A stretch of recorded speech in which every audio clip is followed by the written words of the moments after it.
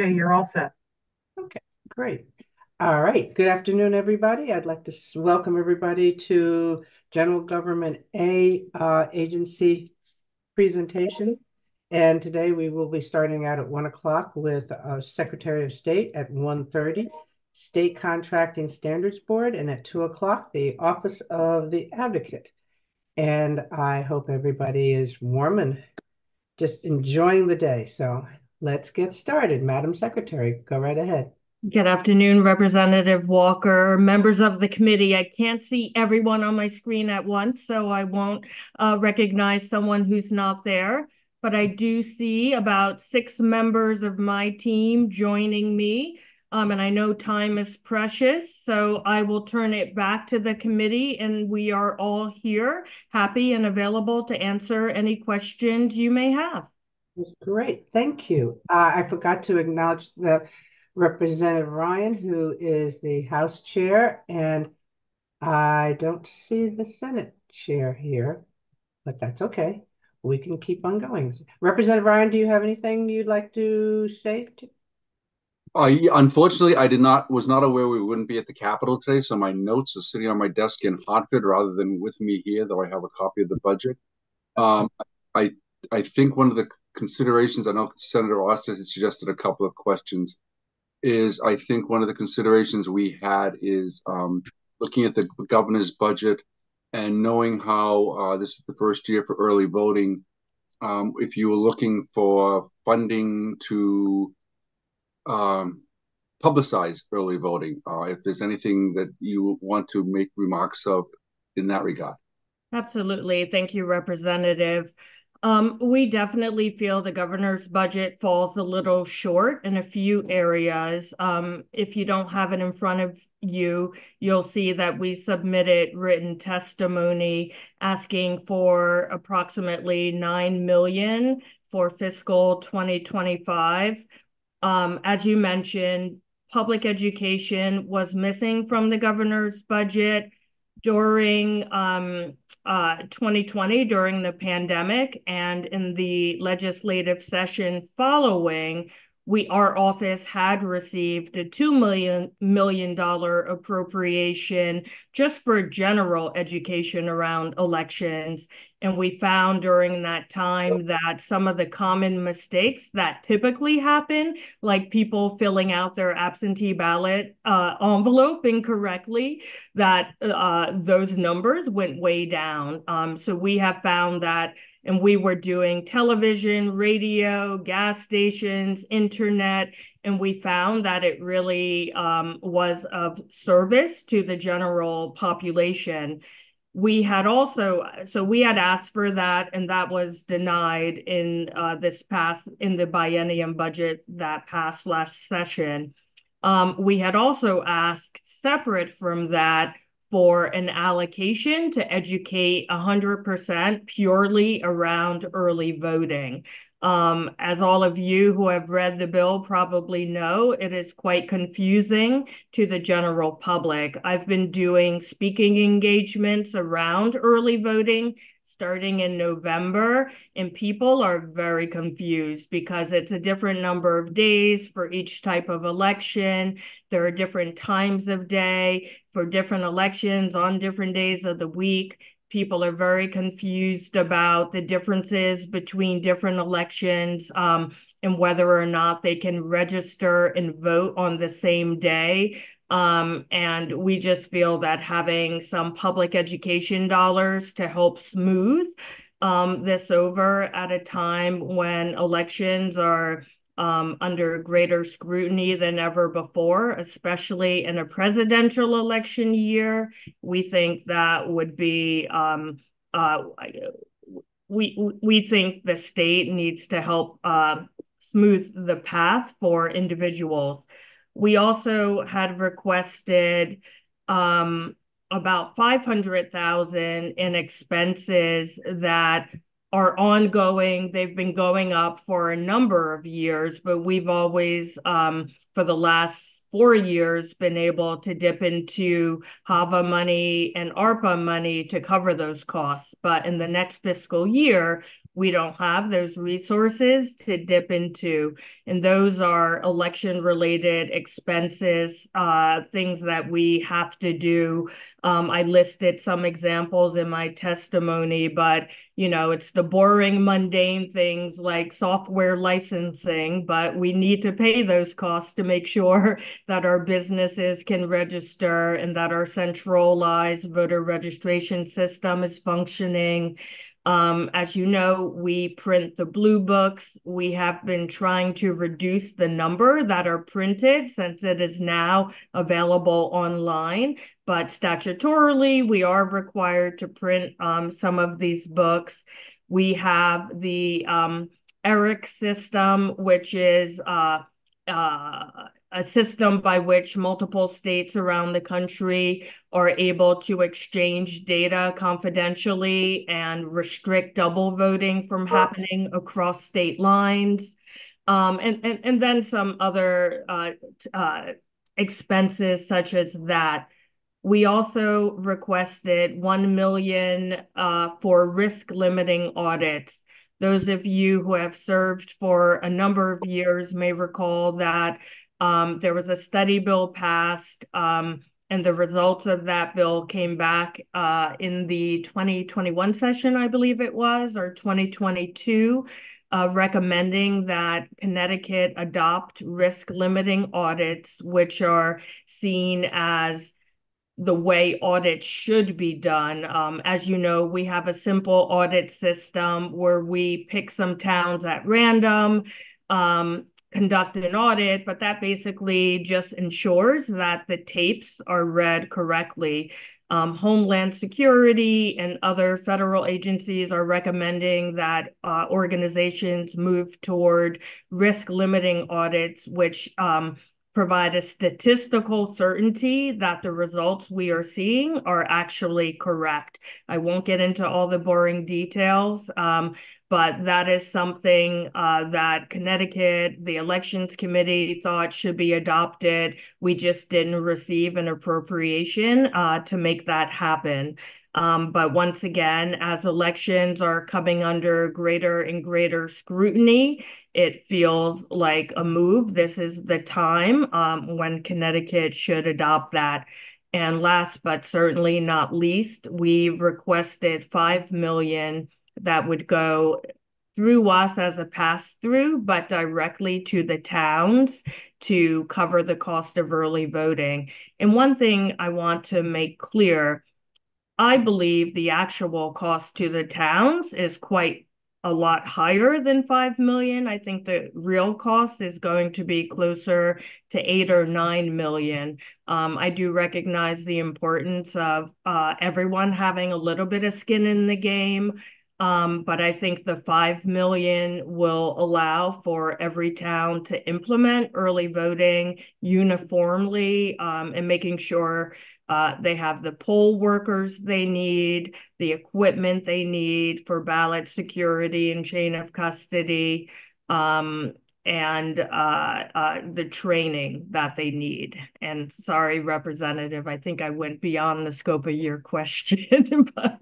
No, I think you probably answered a lot of other questions. Going to the amount of money that's going to be allocated to towns, and yet now you're saying that you could probably actually use more money. I know I listened to my registrar voters the other day, um, who gave her version of how this is going to be implemented, and I'll put it that way and not say anything else. How did you come up with the figures? Did you ask the individual towns how much they thought it was going to cost them to implement? Um, early voting. I know uh, the registrar the other day talked about how the rules were constantly changing, so it was difficult for them to think about what they're going to have to implement uh, for any of the elections, the primaries or the general election. Uh, but how did you give any consideration to their input into what it would cost to be able to implement early voting, both at the primaries and local elections, as well as the uh, presidential election? Thank you. Excellent question. When we were, all of us, trying to draft the early voting legislation last year, there were a lot of unknowns. Um, after session ended, our office put together a survey that we sent to the registrars. It was optional. Uh, and it asked them a myriad of questions from how many staff people do you think you'll need um, to uh, how much training do those staff people need? What are you thinking about ballot security measures? Will you need additional equipment? Do you anticipate having more than one location as the statute allows for? If so, do you have a secure uh, connection to the centralized voter registration system? Um, I, I believe we had about 50 questions all in. 123 towns responded. Um, so that does give us a good baseline. Um, uh, I know OFA has also worked very hard at looking at some of that data and trying to come up with an estimate. Um, there are a few things that I did not ask about that have since become known. Um, and when the survey went out, the towns didn't yet know what the staffing requirements would be in accordance with the bill. Again, without getting into a lot of the detail, uh, one such example is the statute calls for one moderator to staff the early voting location. And that was a nod to small towns so that they didn't have to have all of the positions that you would typically see on election day. However, to make sure that any location where voting is happening um, uh, in accordance with legislation outside of the early voting bill, curbside voting has to be done by someone representing each party. So already that brings the minimum to three people. So that in and of itself is a huge cost difference if you're required to have one person versus three. Um, I don't think the legislature intended this and will be coming back with a fix, um, a proposed fix. But by using the word moderator, um, there are statutory obligations that a moderator has to follow. That again, I don't think it was the legislative intent, but what it means is that no registrar of voter can staff early voting. um, so that in and of itself, again, calls for some additional costs because I know many towns intended for their registrar to staff the day. Um, so we, so looking at legislation that exists outside of the early voting statute, um, I think we'll be fine for the presidential preference primary with some of those differences. But once you get into the fall, um, once you look at the amount of training that has to happen, um, no one has factored in actual cost of the registrar's training. Um, as you know, statutorily, they have to complete um, a certificate. So they will all need to complete the uh, new early voting training. Uh, because early voting is different than election day voting, all of their poll workers need additional training. Uh, many people don't realize poll workers are paid um, and their training time is paid. Um, so once you factor that all in uh, and the amount of staffing, that's how I arrive at the higher number. Um, but I think the 5 million requested will cover most of those baseline costs. And um, Senator Osten, I see your hand up. I'm not sure if it's about. Um, wait, wait, hold it. I'll, I'll, I'll handle that. okay, you, you, you know, you can take the horse out of the. no problem. Um, so I guess to become your question, um, just to, you do have that bill in process to kind of minimize that so that that cost won't be realized. Yeah, we're, we're um, in the process of writing it, and we have communicated this to the GAE chairs. Okay, okay. thank you. Mm -hmm. Thank you. Uh, Senator Osten. Thank you. Um, and uh, I wouldn't speak before Kevin Ryan was finished with his soliloquy. So um, I do have a question on the new machines. Have the new machines been ordered? Uh, no, and by new machines, I assume you mean the tabulators that we were yeah. bonded for. No, not ordered yet. Um, they are, uh, we're in the process, so, um, we have a review committee, uh, and that process includes meetings, obviously, uh, and then, uh, detailed inspections of the machine to make sure they meet security standards, um, and some other steps. Once we finalize our decision, then we'll be able to uh, make a selection and undergo the contracting process. Do you plan on having these new machines in for the election? I would hope so, but it feels like we will not, mainly because the contracting process is outside of our hands. Um, and sometimes it takes a little longer to get a contract approved. Um, as soon as we can move forward, we will submit that contract and then it will depend on how fast it goes through the process, how many changes the AG's office might wish to make, etc. And um, if that is not the case, if the machines will not be here, do you have any idea how many um, uh, uh, towns will not have machines to use at all? Because we have heard from towns that said that their equipment is not capable of handling a single alder election. Um, yeah, I have heard the same, which is why I worked so hard to expedite this process, um, which was delayed by the commission.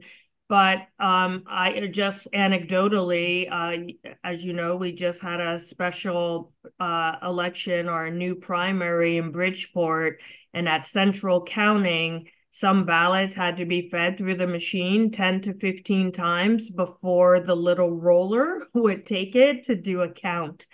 Um, I have not yet heard of any towns absent um, machines in totality, but should we not have the new machines, we'll definitely be reaching out to see if we can't um, redeploy some assets around the state to make sure, as you know, statutorily, every town needs a machine and a backup.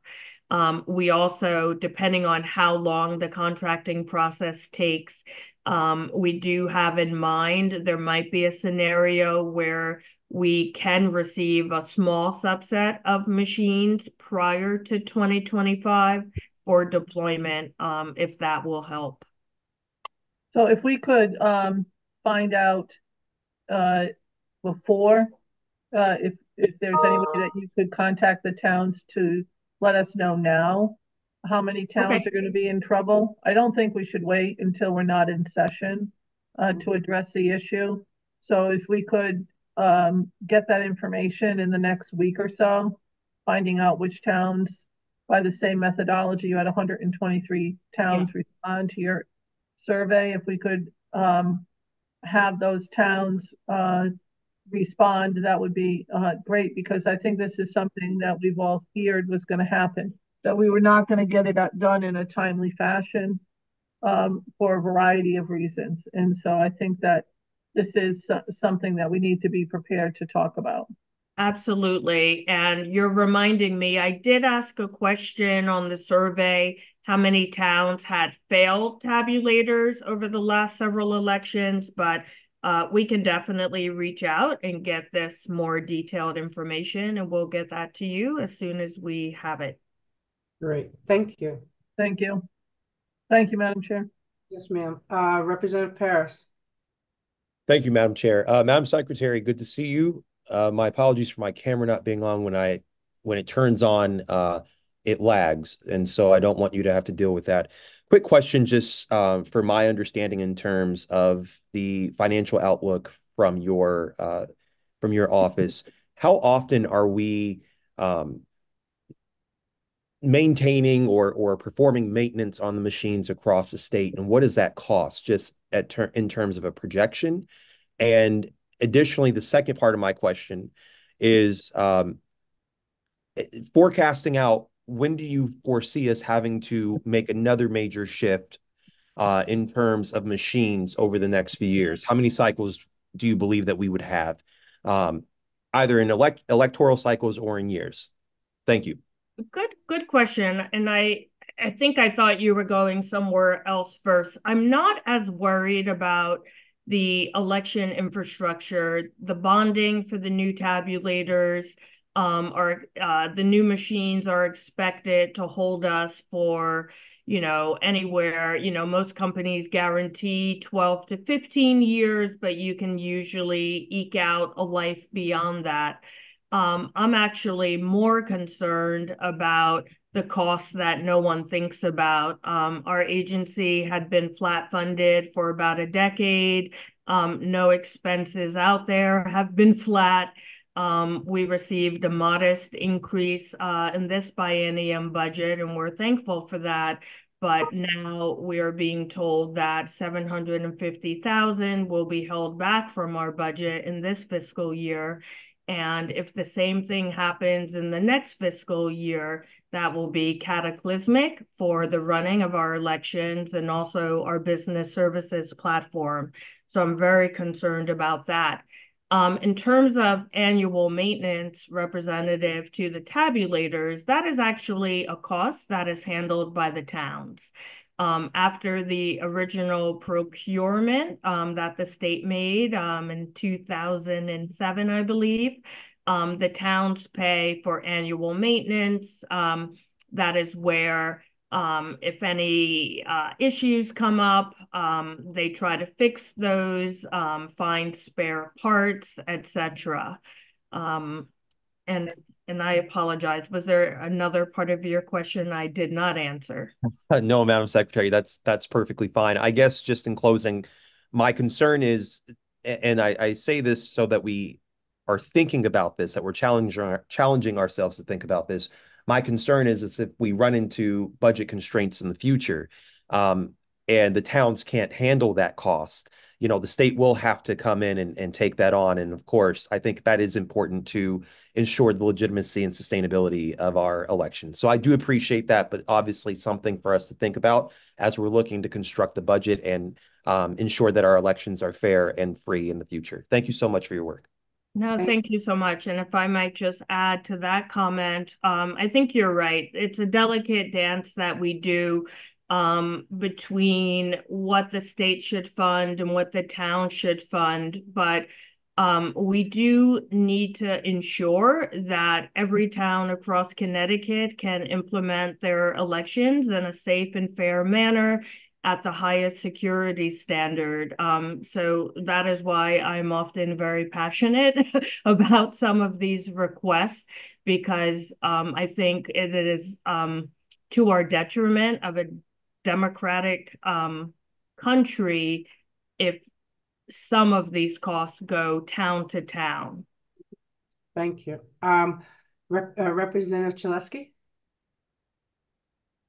Thank you, Madam Chair, and good to see you, Secretary Thomas. Um, we recently saw each other in Danbury in person. That was very nice, so it's good to see you again.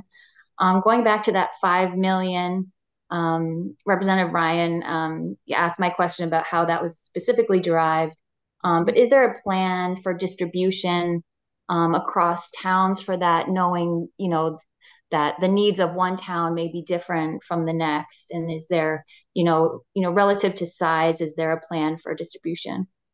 Representative that is an excellent question. Um, as you know, the allocation for this fiscal year was uh, uniformly allocated across every town, um, and they all received the 10,500. And what I thought was interesting, there were some towns that said, we don't need that full amount. Can we give it back so it goes to a larger city who might who will need it? Um, but there was nothing in the legislation that allowed us to rejigger. Um, so uh, what I would say is I definitely would not be uniform across. Um, we have been talking internally about what makes the most sense. Um, uh, and it's not solely voter population. It may also come down to the number of locations. Um, so we are willing to work with uh, whatever committee would like to brainstorm about this a bit.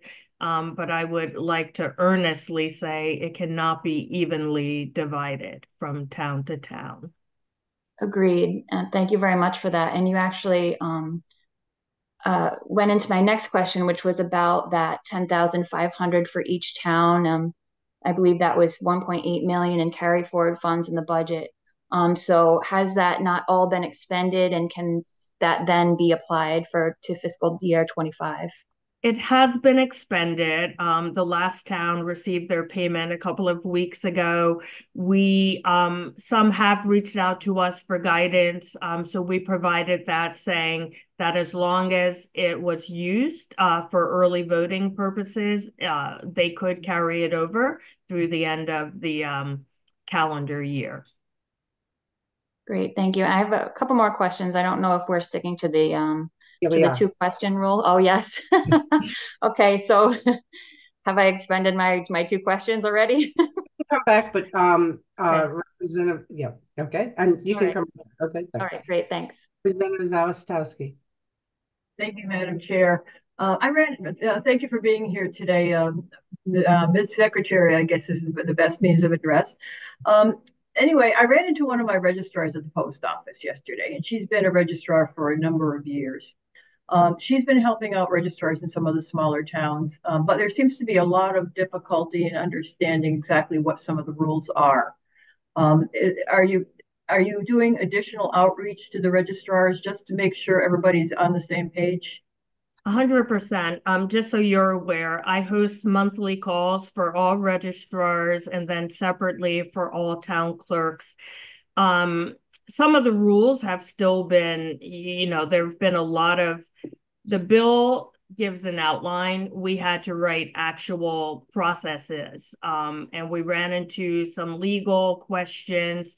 We sent the rules to every registrar in the state for their feedback in November. We received about 48 pages of comments. We went through each comment separately, updated the handbook. We've been having um, office hours. So we do virtual office hours. We've had three so far where we've had um, usually about 159 people or 160 on each call um, the new handbook. Uh, so after all of that, we put together um, a final handbook, which I am signing off on um, as soon as I get off this call, and then it is going to registrars. Um, we've also made some recordings with all of the commonly asked questions and have sent that to the registrars.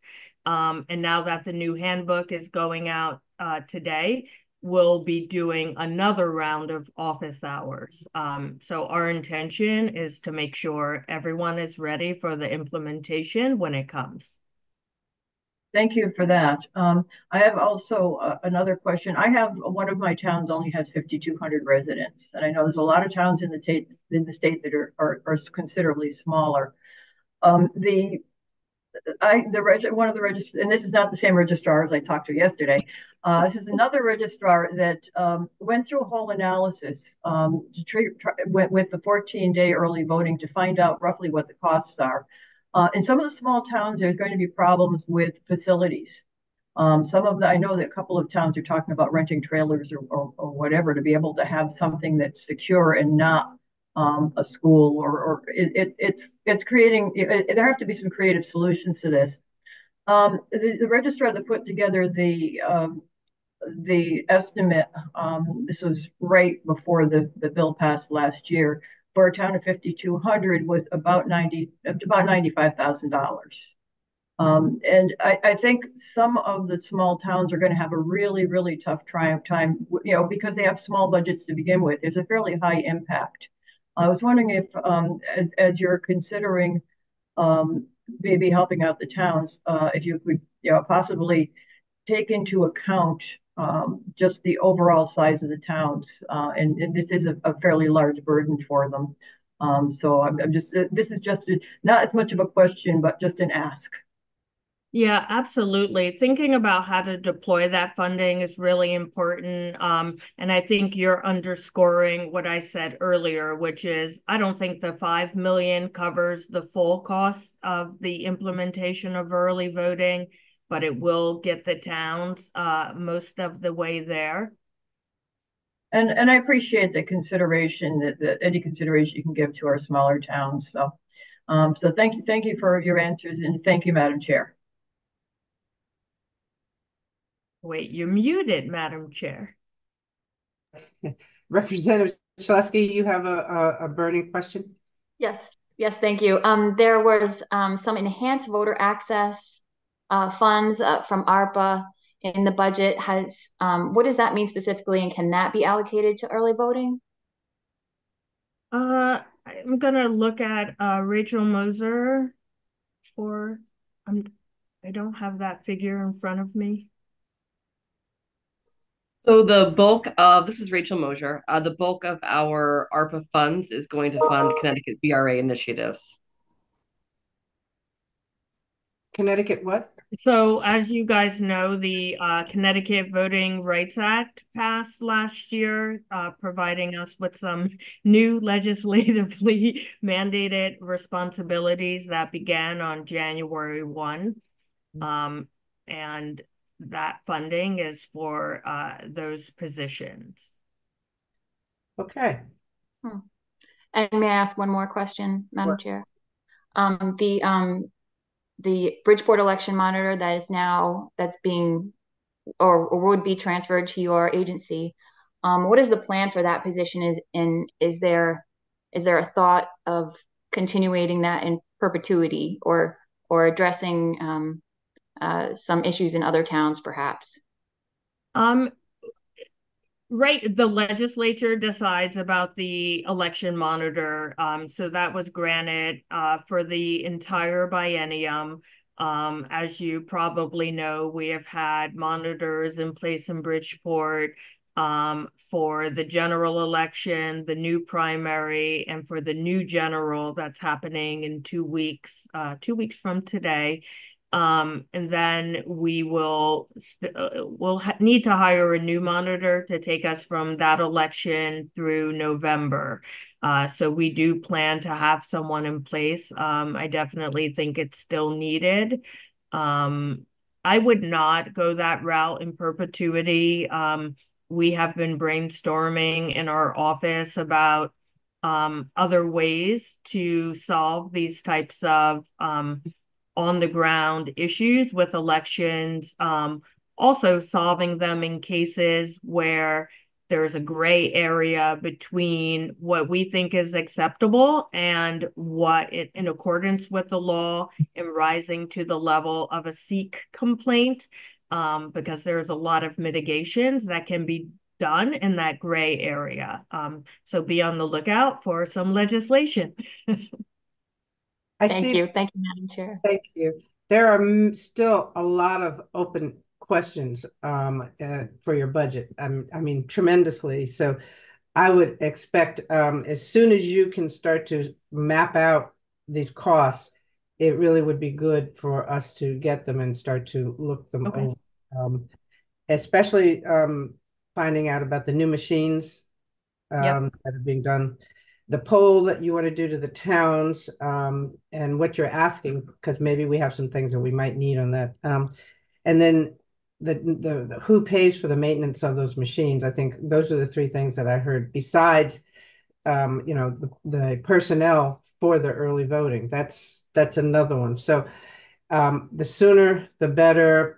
And then we can have another work session because it's going th this work session is going to take a little bit longer than 30 minutes um because we're going to have to drill into this a lot more and and I know it's hard because this is like your second year and it's learning the system and it's hard it is a hard system to understand so um they but you're talking to the right people I'm up to the task. I'm happy to provide as much detail as you are willing to stomach. Oh, we, we, we need to because our voter registrars are on our call phones every day. I mean, every day. So I, and I appreciate the fact that they're staying on top of us. So, so thank you. And I know, um, we will be hearing from you soon and matter, anything you get, please make sure you send them to Madam Administrator Susan so she can get it to, to everybody and we can, um, we can get to work on it. So this is very critical for all of us. So thank you. Thank you. Thank for- you. I appreciate the time. Have a good s- snow day. Great. Thank you. Bye-bye. Bye-bye. Okay, next we have Contract Standards Board, and let's see. I believe Greg is going to be our our next person. Thank you. Go right ahead, sir. Yes, Madam Chair. Good afternoon. Good And, afternoon. and good afternoon, members of the, of, of the, uh, of the Appropriations Committee. Uh, thanks for having me today. Um, it's been, um, uh, interesting year. Uh, having led the, uh, the, the, the, um, this, the staff, now fully staffed. Um, but, uh, if you haven't met me, my name's Greg Daniels. I'm the Executive Director for the State Contracting Standards Board. Uh, and with me is Jonathan Longman, our Chief Procurement Officer, as well as Samson Anderson, our Research Analyst. Um, and today we come to you to talk a little bit about some of our accomplishments as well as some of um, some of the challenges we're having um, now that we're fully staffed.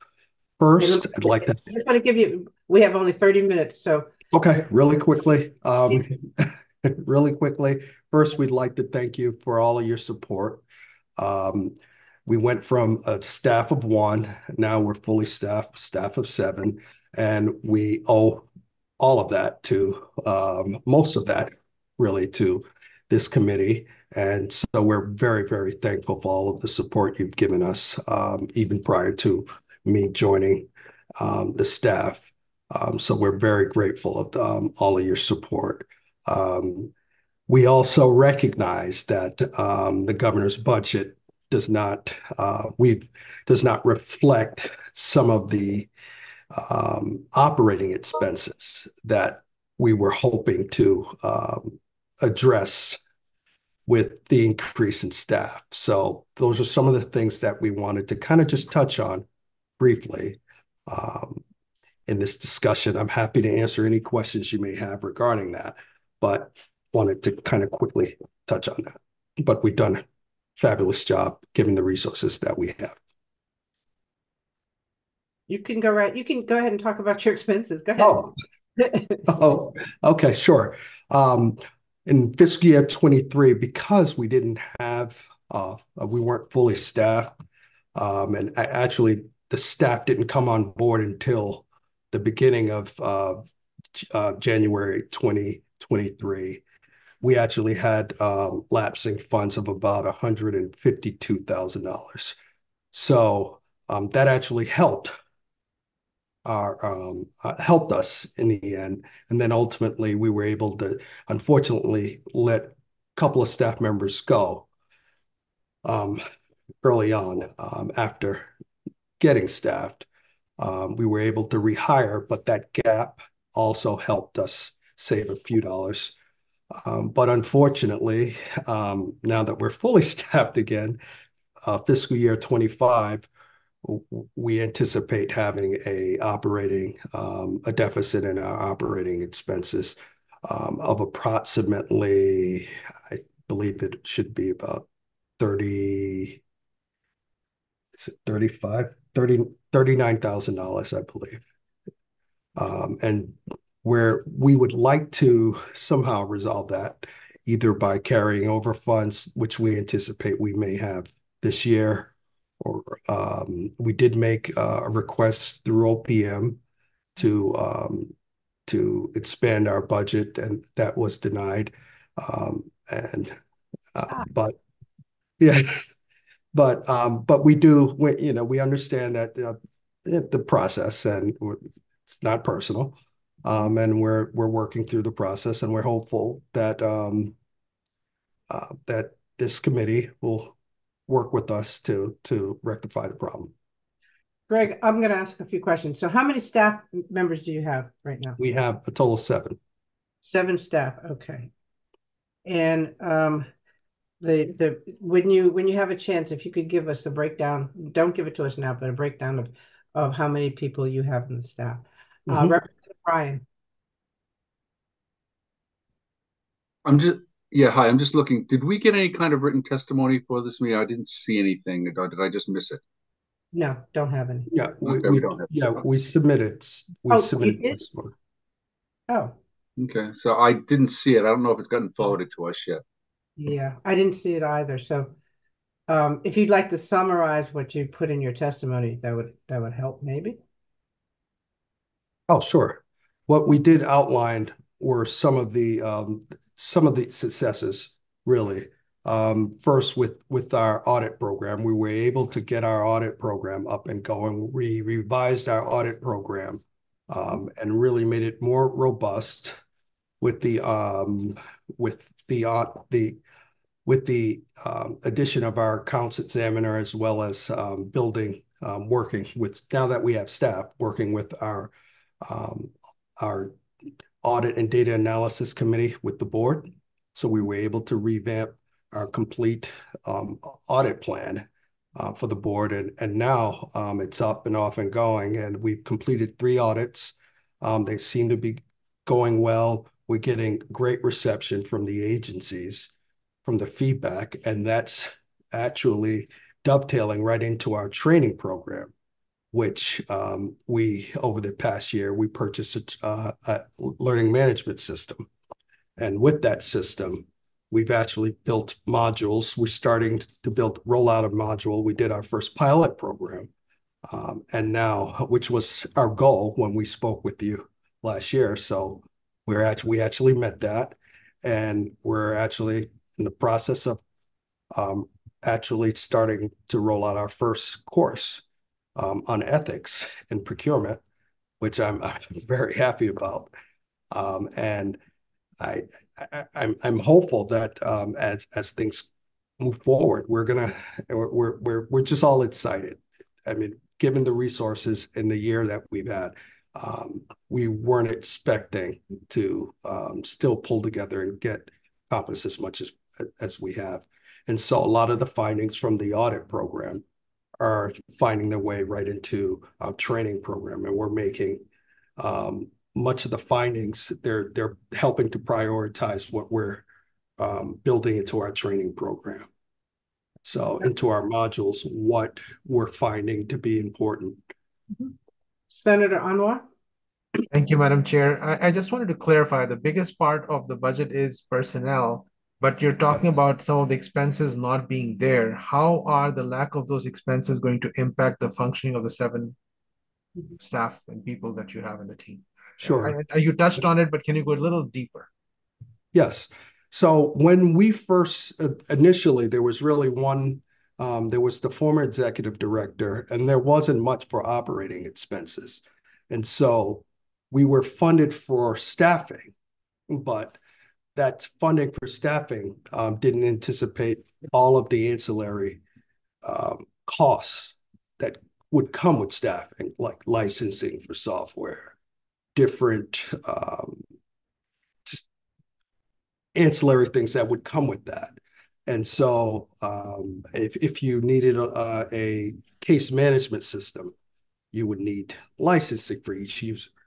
So it, it's just things that you you kind of have to anticipate, but you wouldn't know what the cost of would be until you have the bodies in, in on the staff.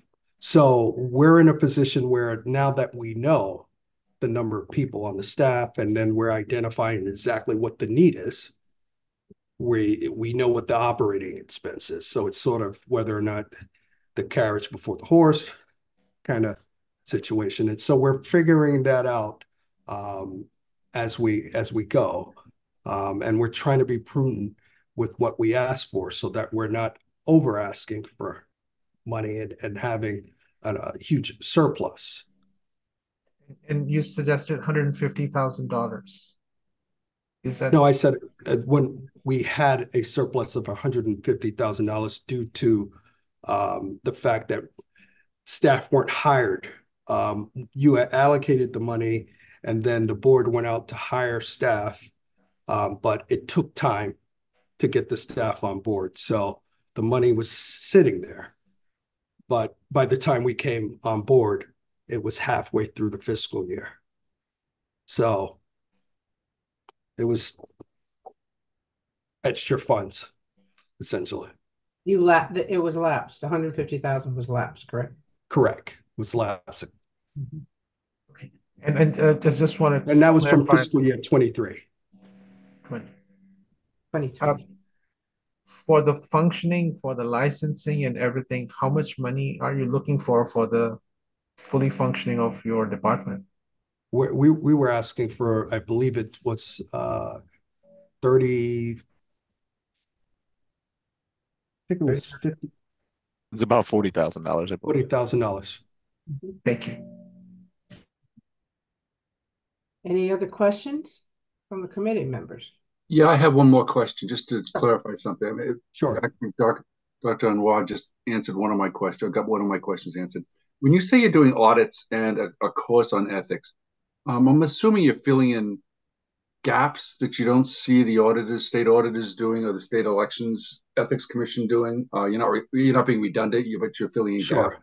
So under our statute, we're, we're required to work with the Office of State Ethics, the FOI Commission, um, the auditors of public accounts. So we're, we're required to work with them. So that's what we've been doing over the past year, collaborating with all of the agencies. So our, our, um, our ethics course was done in conjunction with the Office of State Ethics. Thank you. So it, so it fills that, it really fills the gap, but it, it focuses on procurement. I see. Okay, thank you. Are there any other questions? Well, thank you, Mr. Daniels, and um, thank you to your team. And um, if you could possibly lay out a budget for us that we could, um, I don't know if it was in your testimony, but if you could lay out a budget for us with the the varying things that you talked about with the the lapse was from this past year, correct? Yes. Okay, so the lapse, and then you said you had a thirty-nine thousand or forty thousand dollar deficit.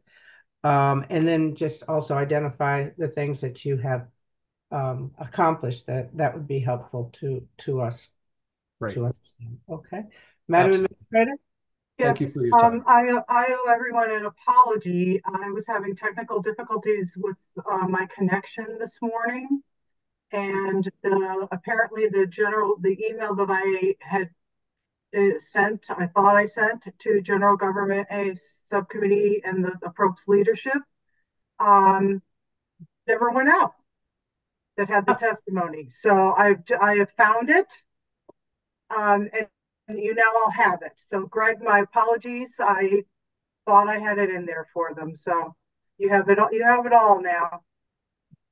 Okay, Thank thank you. Thank you, uh, thank you, Greg, and your team. Welcome aboard, and we look forward to working with you. Thank you. Thank you. And Have a good day. Um, I know we're early. Let's see. I I see Christine. Is Sarah anywhere? Yeah, I'm here. Oh, there you are. Okay. All right. Good. So we can roll right in on your testimony. Go right ahead, ma'am. Great. Uh, good, uh, good afternoon uh, to the committee. My name is Sarah Egan. I run the state's Office of the Child Advocate. Um, and with me on Zoom is uh, Associate Child Advocate Christina Ghio. Um, I hope everyone ha I think everyone should have our testimony, uh, which goes through the responsibilities of the office, how, no, you're shaking your head. Um, Rep, uh, uh, S- S- Madam Administrator, did we get that one? You just sent it out. We just got it in the last couple of minutes. You just got the, the, the whole, all three agencies. Okay. So why don't you sum us up? okay. So I wasn't going, I wasn't going to. Sorry, Um, Sarah. No, no, no, no, no, no, please, don't worry. I just, It was a, um, it was a bad technological look, first hour of this morning. So thank you. no problem at all. I just want to make sure we give uh, the committee information that's helpful. So the testimony, so of course I have one screen, so I'm just going to sort of put it up and down, but um, the testimony outlines um, what our statutory responsibilities are. We are allotted eight FTEs.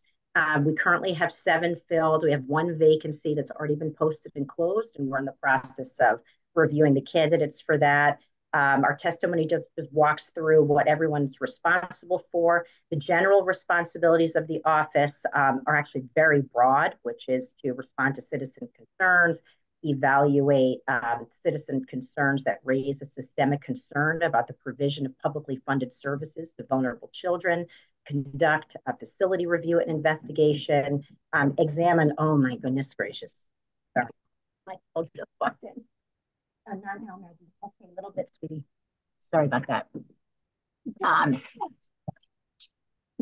Sorry. Sorry about that. oh my goodness, I'm sorry. Oh yeah, yeah. Sorry, snow day. Um, conduct uh, periodic reviews of facilities where children are placed by state agencies, uh, staff the state child fatality review panel, um, investigate the death, preventable death or near death of a child um, involved with a state agency, uh, pr produce an annual report about the activities of the Office of the Child Advocate, produce an annual report about child fatality review, produce investigative reports about child fatality as directed, um, and produce every two years a report on conditions of confinement for incarcerated or detained youth aged 15 to 22 uh, across the state. So those are our responsibilities. Uh, we work with um, our staff as well as uh, consultants to do that work. We recently received a grant in order to work with the some data folks in Connecticut to try to automate some of our data review for conditions of confinement. So that's new information for this year.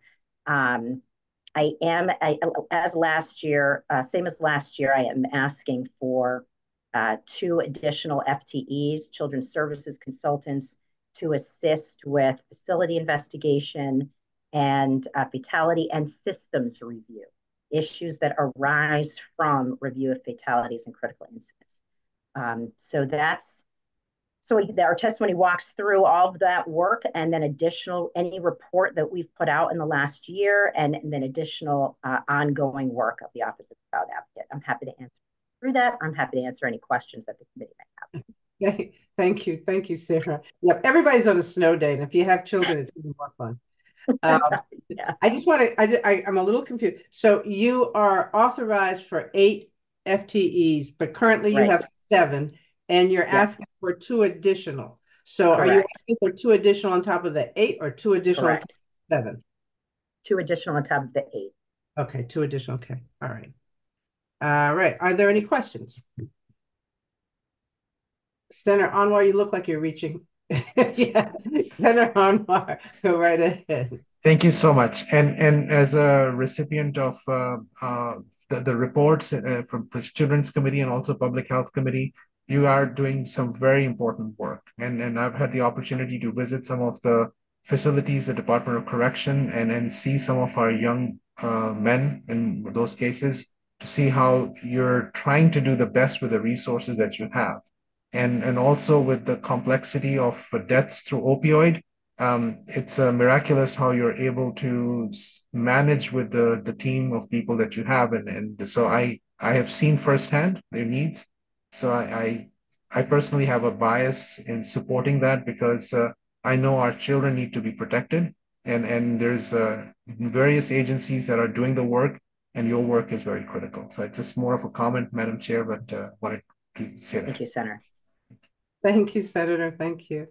Representative McCarty.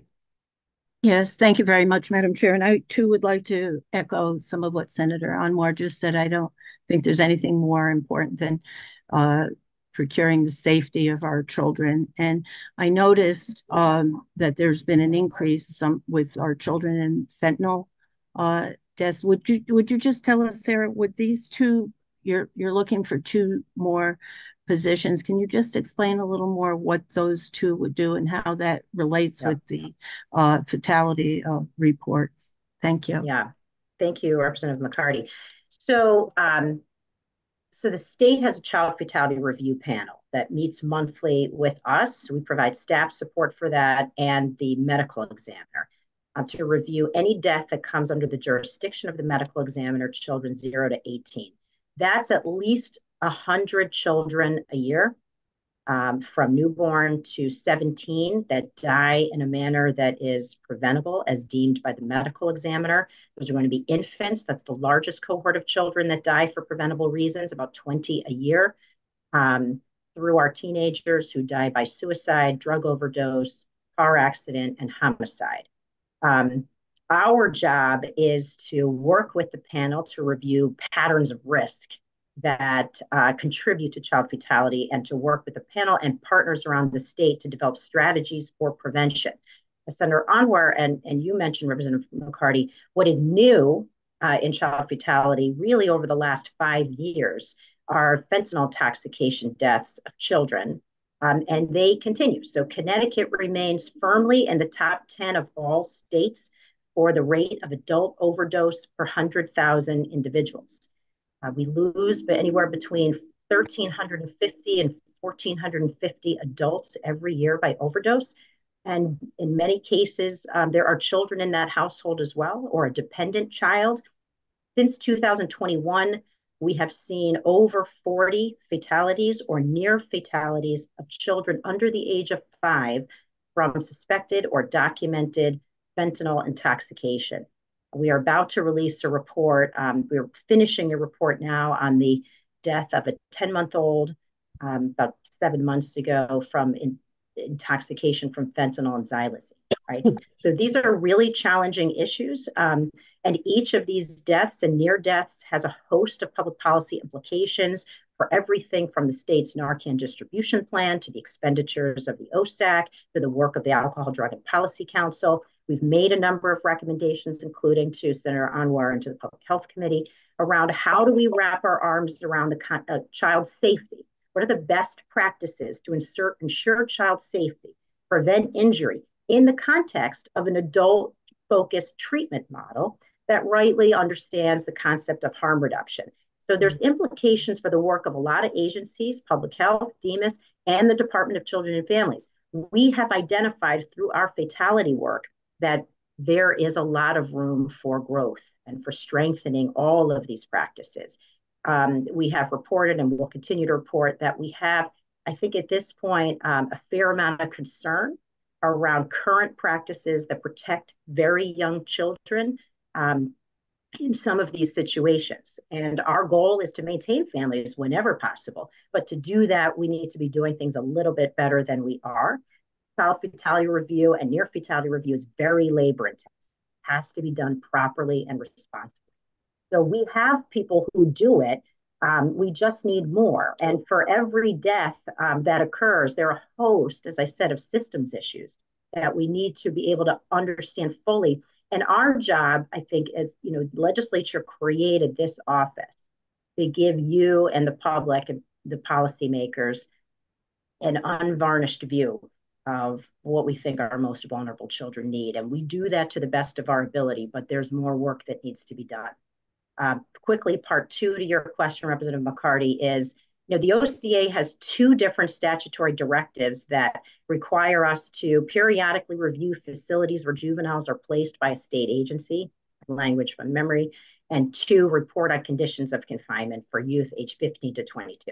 Well, just taking the latter of those mandates, which was created in 2016 by the legislature, that's 500 plus individuals across a dozen plus facilities for which I have one FTE. Um, and who's terrific and amazing. And if she ever retires, I don't know what we'll do. But um, but she's my age, so she's not going to soon. Um, and uh, you know, and but that also means that we're not going to um, some of these other places where are. We we go as much as we can, but just the just the corrections review could take, you know, could keep six people busy, right? There's so much to do. And every time you walk into a facility and meet with a young person, you could be the only person who's met with them mm-hmm. in the entire time they've been there, you know, from outside that facility. And they have needs that need to get addressed. So it's a never ending cascade of work. So I thought I'd ask for at least one, one more person to assist with that. Meanwhile, we got the grant. Uh, Christina's been working on that to create, help create with some experts a data system that can help automate some of the work. But that's where the um, that's where the FTE requests would go. Thank you for the question. And, and if I may, thank you very much for that response, uh, Sarah. And I'm looking forward to reading your testimony. But if I may be permitted to say, I'd like to recognize your leadership that you have done with the interagency work and looking at best practices so that we can continue to move forward. So I just had to recognize you. Thank you. Thank you. Thank you. Are there any other questions um, to Attorney Egan? Sarah, thank you. And as as usual, I mean, everybody after listening to you, we, we want to just sort of put our arms around OCA and just say, we're, we're, we're here, we're gonna be there, we're gonna figure it out. But you do a great job and, I mean, you also talk about the fact that, I mean, you didn't talk about the fact that you also provide soap and lotion and articles for the kids that are, that are, that are incarcerated, that don't have anybody doing that, and you manage to give them some sort of moment of joy and things like that. So for you and Christine and the whole team, you guys do a great job. Um, thank Thanks, you. Thank you. Thank you. Thank you very much. Now, I just want to ask on the fentanyl deaths. I'm I'm I'm having um conversations with members of on on the OSAC um committee and I'm I'm I'm not hearing enough of it. I'm not hearing enough um um concern about it. We're we're more concerned about getting methadone and things out to people than I mean, we're looking at the same things and and I don't know how to move that that ship a little bit, but I think we need to dramatically because um, we don't know who's doing a good job because we, you know, Connecticut doesn't like to do anything first. So we got to follow somebody. I mean, so if you have any, you know, ideas, please pass them um, to us because I'm I'm desperately looking for for somewhere to go to try and, and ignite the the importance of us doing more stuff um, with with this with the amount of money that we've been given to try and resolve or reduce the number of people that are going through an addiction problem here in Connecticut. It's it's, it's horrifying. So I I am I'm begging anybody if anybody has any any ideas. Um, Senator Anwar, you had your hand up again. I, I did, uh, Madam uh, Chair, when you were mentioning, I just wanted to mention that uh, through Public Health Committee, we were able to add in the OSAC somebody representing the children's uh, um, issues, and then we've had um, Office of Child Advocate be member of that group. But also for the ADPC, we feel that there should be a subcommittee focused on this aspect as well. So from through public health, we will try to see if we can improve exactly what you're speaking to. Yes, I, I, I, I didn't. When, when did we add the person, the member from, from uh, OCA? Last session. Uh, I mean, we we proposed. Go ahead. Uh, yes, you. So, sorry. Go ahead. Go ahead. Go ahead. So you, so Senator Anwar, we the OCA was added to ADPC. Yeah. We were were not on the OSAC. OSAC, yes. But but public health did. I think there was language that, if I remember correctly, that added two individuals to OSAC who are knowledgeable about the impact of opioids on children, because that wasn't part of the original construction of the OSAC. I, will I'll look for that mem those those two memberships because I haven't. I, I I'll look for those two memberships. So, thank you, thank you for that. Any other questions? Thank you, Sarah. Thank you. Thank you, thank you Christine. Thank you, OCA for being there. Oh, Rep Currey. Rep Currey. Hey, good afternoon, everyone. Um, quick question for Sarah. Um, so Christina met with the chairs of education last week with respect to a number of different items of concern. Um, one of which being the oversight of some of our special education outplacement facilities. And so I was curious to, to know whether your uh, position count uh, would be able to sustain uh, OCA taking on potential 10-4B complaints um, against some of these private uh, special ed providers? Why, that is an excellent question. Um, thank you for that. Um, so the the review that that you're referencing, so we do have a pending near conclusion investigation into services delivered to children by a state-approved private uh, special education program, a large one in Connecticut that serves about 300 children a year um, mostly Black and Brown children from poor communities. Um, we did that investigation jointly with Disability Rights Connecticut, and we do have a number of public policy recommendations that emerge from that. And Representative Currey, I appreciate your point that 10-4B complaints are, are maybe a useful tool to get at certain issues um, with regard to our FTEs. Um, you know, the work that we're doing there is sort of on top of our other statutorily mandated activities and is complaint based. I shouldn't say it that way. It's complaint driven. which is part of our statutory mandated activities. So the resources are always a consideration in determining what remedies OCA can pursue, right?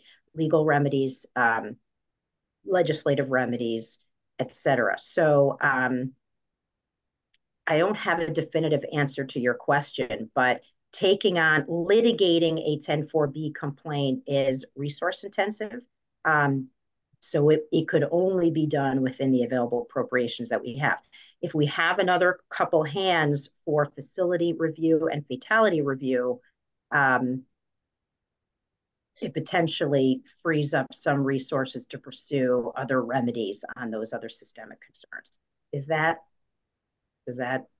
Yeah, no, I think it gets to it. And and I know we're living in a midterm adjustment world, and so I'm not yeah. sure we're not looking to increase uh, FTE counts at this point. But I think it's just important that we put this on the radar that we have uh, folks who are able to do this. We know these facilities exist. We know students are not being provided what they are uh, should have rights to. Uh, and so uh, I appreciate the work that you're doing and, and, hope that we can continue that conversation. Thank you, Madam Chair. Thank you. Thank you, everybody. Um, Madam Administrator. Yes, ma'am. Uh, you want what what's on tap for us next? At 3.30, we will be holding our public hearing. It's a Zoom webinar, so members should check. Although, good news for the general government A folks, it doesn't appear as though you've got anybody coming to testify. You're more than welcome to join us. Um, but it appears as though the 44 speakers are all connected to judicial corrections. Oh, yay. please, please join us. All right. Thank you, everybody.